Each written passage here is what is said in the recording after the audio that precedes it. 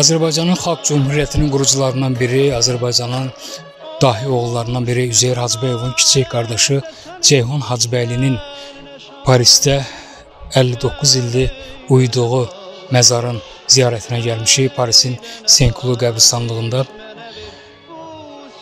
Ceyhun Hacıbəyli Paris Sülh Konfransına yollanan Azərbaycan Xalq Cümhuriyyətinin heyətinin nümayəndələri sırasına daxil olan həm jurnalist, həm etnoqraf, e, bir çox bacarıqları ilə seçilən Azərbaycan oğullarından biri idi.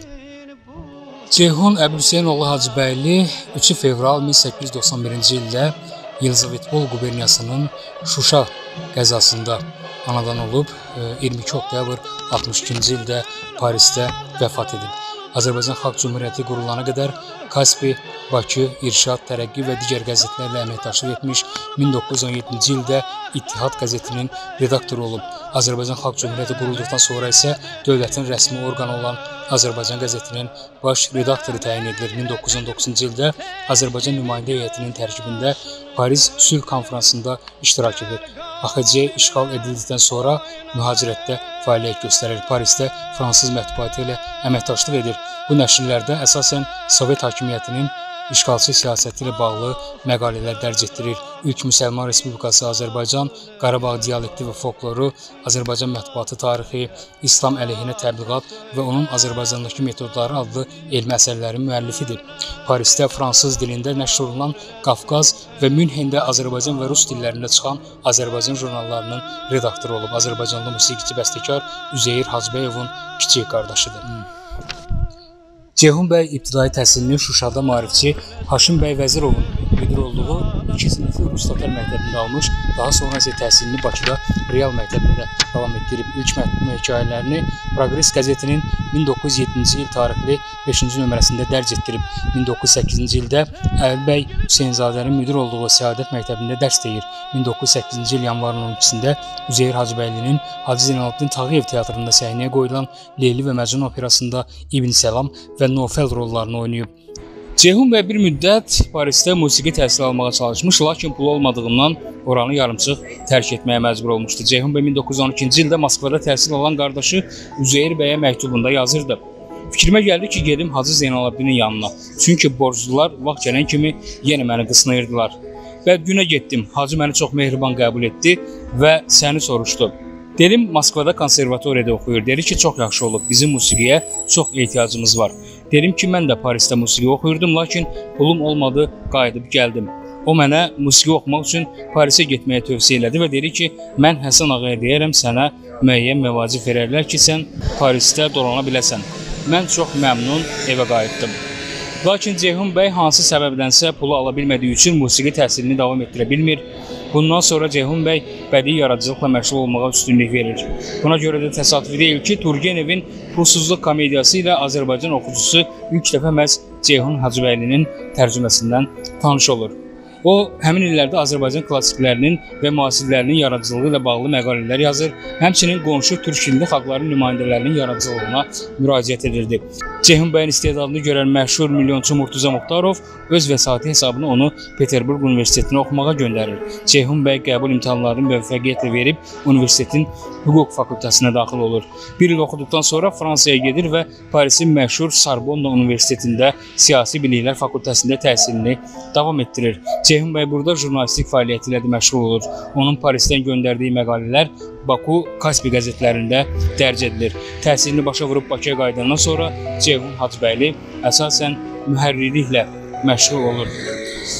Məndən arxada gördüyünüz Parisin e, bu qədim, ümumiyyətlə dünyanın qədim universitetlərindən biri olan Sorbonne Universitetində Ceyhun bəy təhsil alıb e, və çox güman ki, digər tələbələr kimi boş vaxtını bu arxada gördüyünüz kiçik fəvvarəli parkda keçirib.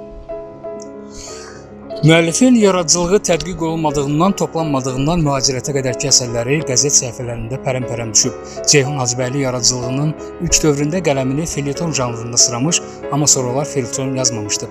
Felyetonlar arasında Pristav ağa daha çox diqqəti cəlb edir. Əsər Progress qəzetinin 1907-ci il 6 və 7-ci saylarında Dağistanski imzası ilə çap oldu. Ceyhun bəy sonrakı illərdən başlayaraq məhsuldar şəkildə maarif, mədəniyyət, din, dil, xeyriyyəçilik, qaçqınlar mövzularında məqalələr yazır çap etdirir. Mühacirətdən əvvəl Kaspi, Progress, Bakı, Azərbaycan və başqa qəzetlərdə yüzlərlə publisistik məqalə, hekayə dərc etdirən Hacıbəyli həmin dövrdə İzvestiya, İttihad və Azərbaycan qəzetlərinin redaktoru olub. 1910-cu ildə o Hacı Kərim povestini yazır və 1911-ci ildə kitab şəklində çap etdirir. Lakin həmin povestdən sonra yaradıcılığından uzun müddət uzaqlaşır.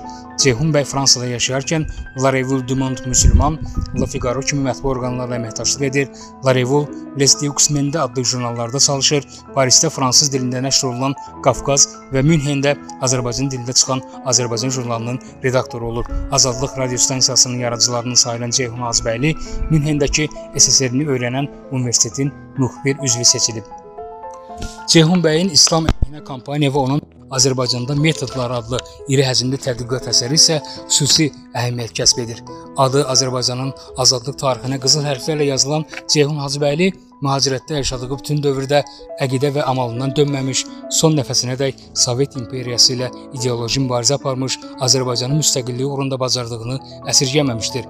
Vəfatından 3 gün əvvəl 1962-ci ilin 19 oktyabrında Azərbaycan Xalq Cümhuriyyətinin sonuncu daxili işlər naziri Mustafa Vəkiloğluna məktub ünvanlayır. Həmin məktubda o, Azərbaycanın istiqlalı üçün mühacirlərin tək bayraq altında birləşmələrini və mübarizə aparmalarını arzulayır. Hər cür qruplaşmaya qarşı olduğunu bildirir və dostuna mühacirlərin mühacirləri bir yerə toplamasını vəsiyyət edir. Bu haqda sonradan Mücahid jurnalının 1963-cü il nömrəsində Ceyhun bəyin vəsiyyəti adlı iri həcmli məqalə dərc olunur.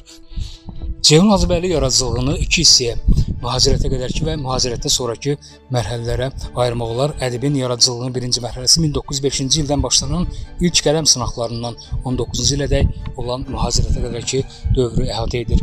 1919-cu ildə Parisdə keçirilən sülh konfransında Azərbaycan Xalq Cümhuriyyətini təmsil etmək üçün Parisə gəlir. Ceyhun bəy qürbətdə Parisdə mühacir həyatı yaşayırdı. Sovet hökumətinin ondan alası heç nəyi qalmamışdı canından başqa. Hərçənd ki, Sovet kəşfiyyat orqanları səsini çıxaran mühacirlərin canını da alır, onları qətlə yetirirdi. O azad idi ən azından ona görə ki, azad ölkədə yaşayırdı. İstiqlal mücahidi mühacirətdə bütün qəlbi və qələmi ilə Sovet Şər imperiyasına qarşı döyüşürdü. Qəzet, jurnal nəşr edir, Fransa mətbuatı ilə sıx əlaqə saxlayır, Azadlıq radio stansiyasının yaranmasında və fəaliyyətində yardımçı olur. Münhendə SSR-ni öyrənən institutla, eləcə də Sovet İttifaqına qarşı soyuq müharibənin mühacirləri arasında təşkilatçısı olan Amerika komitəsi ilə sıx əməkdaşlıq edirdi. Ceyhun Hacıbəyli eyni zamanda bədii əsərləri ilə də imperiyaya, onun ideologiyasına, Stalin rejiminə qarşı əmansız mücadilə aparırdı. Yazıcının fransız dilində qələm aldığı Necdanovun İş adlı hekayəsi bu qəbildəndir. Bəri başdan deyək ki, əsər həm ideya, həm mövzu, həm də kompozisiya baxımından rus dissident ədəbiyyatı nümayəndələrindən heç də az təsir bağışlamır. Digər tərəfdən isə bu hekayənin təxminən ötən əsrin 50-ci illərin ortalarında yazıldığını nəzərə alsaq, o zaman Aksionov, Belinkov, Baradin, Brodski, Vayanoviç, Galis, Sinyavski kimi məşhur rus dissident yazıçılarının yaratdığı əbədi nümunələrin pioneri Qaranquşu da hesab etmək olar. 20-30-cu illər Ceyhun bəyin xaricdə yenicə məskunlaşaraq bir tərəfdən Azərbaycan Xalq Cümhuriyyətinin tanınılması, Azərbaycan mədəniyyətinin xaricdə qızğın təbliğ edilməsi istiqamətində fəallıq göstərdiyi, digər tərəfdən isə ailə məişət problemləri, maddi sıxıntılarla üz-üzə qaldığı dövrdür. Həmin dövr yaradıcılığında Ceyhun bəyin bu səpkili nə bədii, nə də publisistik yazılarına təsadüf edilir. İkinci Dünya müharibəsi dövrü Sovet, o cümlədən Azərbaycan mühacirlərinin durğunluq, fəaliyyətsizlik dövrü kimi xarakterizə edilir. Deyilənlər Məzzənin lənət əsərinin 50-ci illərin ortalarında soyuq müharibənin alovlandığı illərdə qələmə alındığını deməyə ciddi əsas verir. Mübaliğəsi demək olar ki, həm mövzu, həm ideya, həm də sənətkarlıq baxımından bu hekayə nəinki Ceyhun Hacıbəyli yaradıcılığında, eləcə də ümumən Azərbaycan O cümlədən mühacirət nəslində bənzəsir bir əsərdir. Azərbaycanda Sovet hakimiyyətinin qurulmasının ilk illərindən bəhs edən çox sayda müxtəlif janrlarda qələmə alınmış bədii nümunələr mövcuddur. Köhnəliklə yeniliyin, ələmlə nəşənin mübarizəsi, dindarlarla Allahsızların qarşı durması, məscidlərin bağlanması, mollaların, din xadimlərinin əzablı günləri, gənclərin, komsomolçuların yeni şüar və çağırışlarından eyfariyaya qapılması, qadınların hüquq bərabərliyi uğrunda mücadiləsi Sovet yazıçılarının qələmə aldığı əsərlərdə dövrün ruhuna və tələbinə uyğun bədii əksini tapıb. Həmin əsərlərdə bir qayda olaraq yeni həyat qurucuları, dövrün qəhrəmanları tərənnüm olunur. Köhnələrin süqutu təsvir edilirdi. Müəzzinin lənəti hekayəsi qırmızı kafirlərin müəzzinlə mübarizəsindən bəhs edir. Əslində problem daha dərin, mürəkkəb və qəlizdir. Məsələ burasındadır ki, Bolşevik hakimiyyəti Sovet ideologiyası ata müəzzinlə ateist övladı üz-üzə qoymuşdu. Məzmunu real həyatdan Azərbaycana Sovet hakimiyyəti quruculuğunun ilk illərində bir kənddə baş verən hadisədən, ildırımın vurmasındanmı, yoxsa Allahsızların fitnəkar əməlindənmi, hörgüsü partlayan məscid minarəsinə son dəfə can atan müəzzinin oğlu ilə birlikdə uçqunun altında qalıb faciəli şəkildə həlak olmasından götürülüb. Yazıcının epizodik obrazlar da daxil olmaqla hekayədə təqdim etdiyi bütün tiplər orijinaldır, maraq doğurur, təsirlidir. İstedadlı qələm sahibinin diqqət çəkən publisistika nümunələrindən biri də iri həcmli memuarlı Bir il xəyallarla və bütöv bir ömür adlanır. Bu əsər bir istiqlal aşiqinin gündəliyidir, həyat dastanıdır. Memuarın ruhu, xəmiri, belə demək mümkünsə, istiqlal davasından yoğrulmuşdur. Ceyhun bəyin mühacirətdə qələmə aldığı digər publisistika nümunələrinə həmin əsərlərdə də müəllifin bədii əsərlərində olduğu kimi Sovet ideologiyası, rejimi, kolxoz, safxoz həyatı, ateist tərbiyəsi, din siyasəti və sair konkret, tutarlı faktlarla kəskin, eyni zamanda yüksək sənətkarlıqla tənqid edilir. Ceyhun Hacıbəylinin uzun illər ailəsi ilə birgə yaşadıkları Şuşadakı evləri 1959-cu ildə Üzeyir Hacıbəyovun ev muzeyi kimi fəaliyyətə başlayıb. Burada Hacıbəyovlar ailəsinə məxsus şəxsi əşyalar qorunub saxlanırdı. 1992-ci ildə Şuşa şəhəri erməni işğalçıları tərəfindən işğal edildikdən sonra muzey fəaliyyətini dayandırır və eksponatların bir qismi də məhv edilir. Bakıda Ceyhun Hacıbəylinin adını daşıyan küçə var. Ceyhun Hacıbəylinin qələmə aldığı bədii və publisistik əsərlərin, xatirələrin, tədqiqatların, qeydlərin, tərcümələrin bir qisminin Azərbaycan dilində mindiyimiz səfinə, zülmə qarşı çıxışın son nəticələri, fransız dilində toy, baş tutmayan ziyarət, səhər, Məmmədqulunun səyahəti, müəzzinin lənəti, Stalinin öpüşü və ya Staxanovçu Fatimə, Necdanovun işi, bir il xəyallarda və bütöv bir ömür, Firdovsinin həyatı, Hafiz Şirazi, Azərbaycan şairləri, Batun təəssüratı, Arşın Malalan, Qasım Bəy Zakirin, Əbülqasım Nəbatinin, Yusif Nəbilin şeirlərinin tərcüməsi, Rus dilində ilk Azərbaycan operası necə yarandı, qanlı il dönümü, Rus demokratlar bolşeviklərlə harda birləşirlər, 28 may, İngilis dilində Hacı Kərimin səfəri və digər əlyazmaları, makina yazıları, eləcə də jurnal və qəzetlərdə dərc olunmuş çox sayda məqalələri Azərbaycan Respublikasının Dövlət Ədəbiyyat və İncəsənət arxivində 649 nömrəli fondda saxlanılır. 19 noyabr 2015-ci ildə Azərbaycan Respublikasının prezidenti İlham Əliyev Ceyhun Hacıbəylinin 125 illik yubileyinin keçirilməsi haqqında sərəncam imzalayıb. 2015-ci ildə Azərbaycan Mətbuatı Şurası tərəfindən Ceyhun Hacıbəyli haqqında Durun gərək evimizə adlı sənədli film çəkilib. 2018-ci ildə Ceyhun Hacıbəyli və onun mühacirətdəki çətin həyatı haqqında yazıcı dramaturq Əli Əmirlinin Nuri Didə Ceyhun pyesi Əməkdar incəsənət xadimi Mehriban Ələkbərzadənin quruluşu ilə Azərbaycan Dövlət Musiqili Teatrında səhnəyə qoyulub. Ceyhun Hacıbəylinin atası Mirzə Əbülhüseyn bəy Hacıbəyov 1840-cı ildə Şuşada anadan olub təhsilli olduğu üçün adının əvvəlinə Mirzə ünvanı əlavə edib. Xurşidbanu Natovanın sarayında darğa kimi fəaliyyət göstərib. Daha sonra Xurşidbanu Natovanın süd bacısı olan Əlverdiyevlər nəslinin nümayəndəsi Şirinbəyim xanımla ailə qurub. Bu evlilikdən onların 5 övladı dünyaya gəlib, Zülfüqar bəy, Üzeyir bəy, Ceyhun bəy, Sayad və Abu Həyat xanım. Ceyhun Hacbəyli Zöhrə Hacı Qasımova Hacbəyli ilə ailə həyatı qurub. Bu evlilikdən onların Ceyhun və Timurçin adlı oğulları dünyaya gəlib. Oğlu Ceyhun 1937-ci ildə Paris Hərbi Akademiyasını müvəffəqiyyətlə bitirdikdən sonra 2-ci Dünya müharibəsində Fransa uğrunda Poitiers yaxınlığındakı döyüşlərdə 23 yaşında həlak olur. Timurçin Hacıbəyli isə Parisdə təhsil alıb. Fransa alüminium konserninin baş mühəndisi vəzifəsində çalışıb 1993-cü ildə dünyasını dəyişib.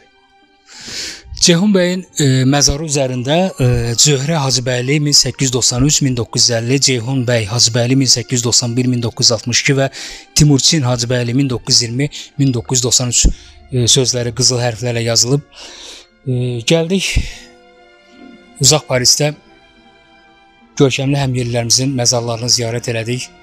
Bildiyiniz kimi Ceyhun bəy gənc yaşlardan Parisə gəlib və bolşeviklər Azərbaycanı işğal etdikdən sonra ə, e, Azərbaycana qayıda bilməyib və ömrünün sonunu burada keçirib. Mən onu da deyim ki, Ceyhun bəyin doğulub boya başa çatdığı Şuşa şəhəri bu gün işğaldan azaddır. Müzəffər Ali Başkomandan və şanlı ordumuz sayəsində və belə azadlıq mücahidlərimizin e, həmçinin şəhidlərimizin ruhu şaddır bu gün. Biz də hər zaman onlar kimi ölkəmiz, dövlətimiz, millətimiz uğrunda mübarizədən qalmayaq. Tanrı Azərbaycanı, dövlətimizi, xalqımızı, millətimizi qorusun. İnşallah bundan sonra da ölkəmizin, xalqımızın xoşgüzaranı çiçəklənməsi üçün əlimizdən gələni əsirgəməyəcəyik və bu süjetin də hazırlanmasında mən Ədalət Zamanova bir daha təşəkkürümü bildirirəm. Növbəti maraqlı sujetlərdə görüşənədək سلامتك الله